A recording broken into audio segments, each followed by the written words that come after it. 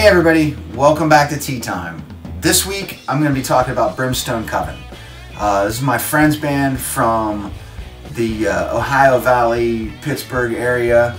Uh, the three-piece dark occult rock and roll um, consists of my buddy Corey on guitar and vocals, my other buddy Andrew on bass and vocals, and their drummer Dave. If you like Sabbath style stuff, heavy, dark, rock and roll, metal. These guys are so good.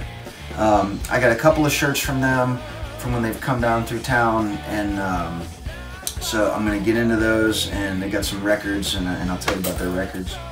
Corey, I've known a long time. He was in a band called Once Again. Uh, that when I was in Law Abiding Citizens, we did a lot of shows with those guys back in the day. I'll get into that later. But uh, let's get to it. This first shirt that I have, I think this was right from around the time that they first started playing. Um, I, this is a great shirt. I love the screen printing on it. It's very soft. Um, I can't remember the name of the process used uh, for it right now. This shirt came out around the time when they put out their first record. I believe it was just Brimstone Coven uh, when they first signed with Metal Blade. And then they also put out like a little mini disc CD with like three songs on it, which I have, which is really cool. I'll put a picture up. Uh, this next shirt I got, this was from the release of their second album, and I believe the second album they did uh, self-release, but this was from their their summer tour from 2018. Uh, the album uh, "What Was and What Shall Be." Their their graphics are really really great. All, all get out, but I like the purple and the black. I think that's cool. And then on the back of it, of course, we have the tour dates for the spring and the summer and everywhere they hit. And I got this one when they came down to Pleasant Street, uh, like I do most, where most of my shirts come from. Um, then I've got another one when they did their 2019 tour. They came back through. I can't remember if this was when they had put out their next album or not, but this is another awesome shirt.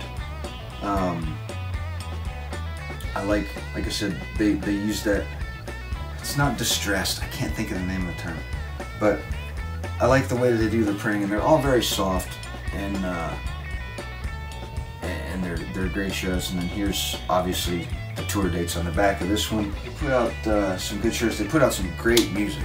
They've got four full-length albums out. Uh, they got the Brimstone Coven on Metal Blade, then they did uh, Black Magic, was uh, the next record they did on Metal Blade. Then they put out What Was and What Shall Be. I believe they self-released that one um, after they left Metal Blade. The last one that I know that they put out was uh, The Woes of Immortal Earth. Again, very, very good stuff. It's got like a 70s sound. They sound live just like they do on the records, which impresses the hell out of me.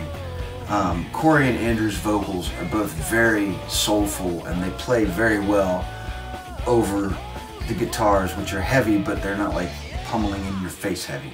Um, the last time I saw these guys play was with Crowbars, but like all the bands were, you know, huge, loud metal bands.